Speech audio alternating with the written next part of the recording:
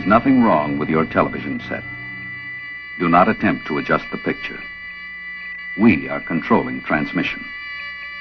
If we wish to make it louder, we will bring up the volume. If we wish to make it softer, we will tune it to a whisper. We will control the horizontal. We will control the vertical. We can roll the image, make it flutter.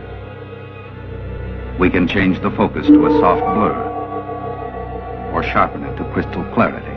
For the next hour, sit quietly and we will control all that you see and hear. We repeat, there is nothing wrong with your television set. You are about to participate in a great adventure. You are about to experience the awe and mystery which reaches from the inner mind to the outer limits. Hello folks, well I'm rather hoping that you got to see a um, small bit of footage from a 1963 TV program called The Outer Limits. This was a um, science fiction program that ran for I think a couple of years. Uh, and the reason I'm saying I rather hope you got to see it is um, I'm hoping it doesn't get knocked out uh, on copyright um, so many years ago, 60 years, with a bit of luck, that won't happen. Um, if it does, you'll be watching the same video, but minus that introductory piece. And the reason I've put this introductory piece in is in the credits of this program was a photo of a galaxy which technically goes under the name of NGC 891 but um, has become known as the Outer Limits Galaxy after the TV program. And this galaxy is the target of today's video. Um, I was out last night, not today as you can tell, it's pouring down with rain here. And I was aiming to take an image of this galaxy. I've um, photographed it before uh, and yeah, came, I was quite pleased with it at the time. It came out sort of okay, um, but the galaxy looks like a really, really dim galaxy behind stars. It's also extremely small in the field of view of the typical setup that I use here. Uh, so I didn't really know how it was going to turn out. I haven't processed the pictures yet. So what I'm going to do is take you back to last night and you can watch the sunset and stuff while I process the pictures and I'll see you in a while.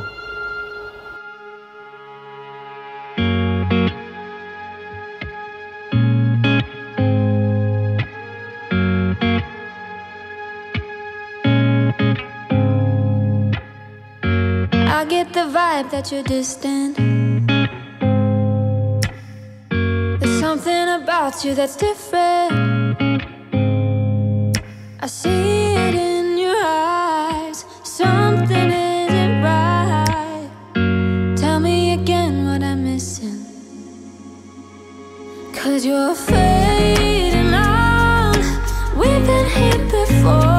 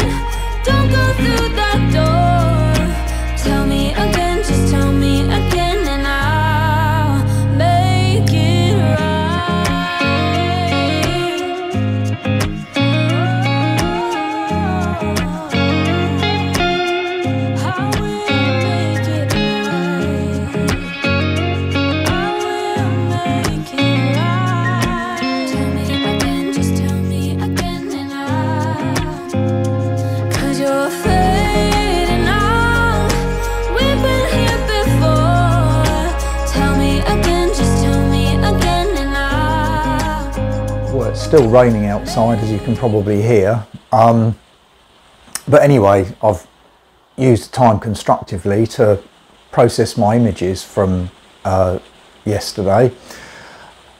Uh, yeah, and I'm quite pleased with the result, to be honest. Um, so, NGC 891, or the Far Limits Galaxy, sits in the constellation of Andromeda. Uh, now, most people looking at Andromeda, including me, would head straight for the Andromeda Galaxy, which um, is a beautiful object to image regardless of what size scope you've got. And this galaxy, the Andromeda Galaxy, sits about two and a half million light years from us and is about the same size as our Milky Way. NGC 891 by contrast sits uh, about 30 million light years away from us. So it's um, quite a lot further away. And it's seen um, pretty well edge on. So um, you can pick up a bit of the dust lane on, on the edge of this galaxy. The image in the field of view of my Redcat 51 scope was absolutely tiny and uh, when I was looking at a single exposure um, I, I initially I thought there was nothing in the picture that I was pointing in the wrong direction um, but I did sort of spot it, and fair enough, it was smack bang in the middle of the of the field of view. So the the go-to function of my mount had worked really well, but it was really really faint. Having stacked all the images and processed them, you can bring out the um, the, the, the brightness of, of the galaxy, but it is very small in the field of view. However, when you start cropping in, uh, you begin to see more and more detail. And what sort of pleased me about this particular image was there's a, a galaxy grouping nearby uh, called, uh, I think, Abell 347 Galaxy Group. So the Abell 347 Galaxy Group is uh, 240 odd million light years from us. And what I'm going to do now is to put up a negative of a cropped in picture that I took just so you can sort of easily see the, the bits and bobs that I'm going to be talking about. Uh, NGC 891, the outer limits galaxy is clearly visible uh, in the top left. In the lower part of the image are some smudges and uh, there's little dark smudges that you can see and these are members of the Abell 347 galaxy grouping. What I was really, really pleased about was to pick up another galaxy, which I think is known as uh, NGC 898. Uh, and this is a um, spiral galaxy, also more or less seen edge on. And roughly the same size. I think it's a bit bigger than the, the Milky Way. But the thing with this galaxy is it's 200 and a half million light years away by best current calculations. So this is an enormous distance away and I was quite amazed to actually sort of pick up it, its shape and things rather than just seeing it as a, as a smudge. And whilst this isn't the furthest distance object that I've ever picked up, it's uh, getting on for it. And to, to put it into context, when I take pictures and things of, of these galaxies, uh, you're not seeing them as they look now, uh, as you're seeing them what they look like when the light left them on its journey to my back garden. And so uh, NGC 891 we're looking at what it looked like 30 million years ago. Uh, this little spiral galaxy NGC 898 we're looking at it as it looked like almost 275 million light years ago. So at that time as the light photons left the galaxy heading for their journey to my telescope. Um, where I'm sitting now would have been uh, a fairly arid landmass, uh, probably not dissimilar to the uh, Death Valley in, in the US. And I find it of kind of really mind blowing that it's taken so long for the light travelling at the speed of light to get to my telescope. So yeah, all in all, I was um, quite well chuffed with the with the image that came out, particularly because uh, my telescope is far from ideal for grabbing these very, very small, very distant features.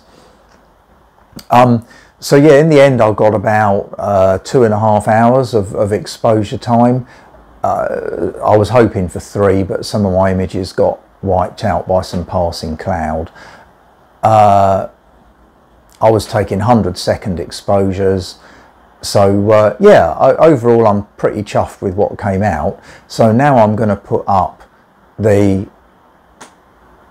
image that I took uh, in three different sort of formats. One, the first one will be the, the, the wide field image where you can see how small NGC 891, the Outer Limits galaxy actually is in my field of view. And then a cropped in version where you can see the uh, Abell 347 galaxy group. And finally, a more cropped in version just showing NGC 891 the Outer Limits galaxy, and NGC 898, the spiral galaxy 275 odd million light years ago. So uh, yeah, I hope you uh, you like those images. I shall put them up now and I shall see you next time. Take care.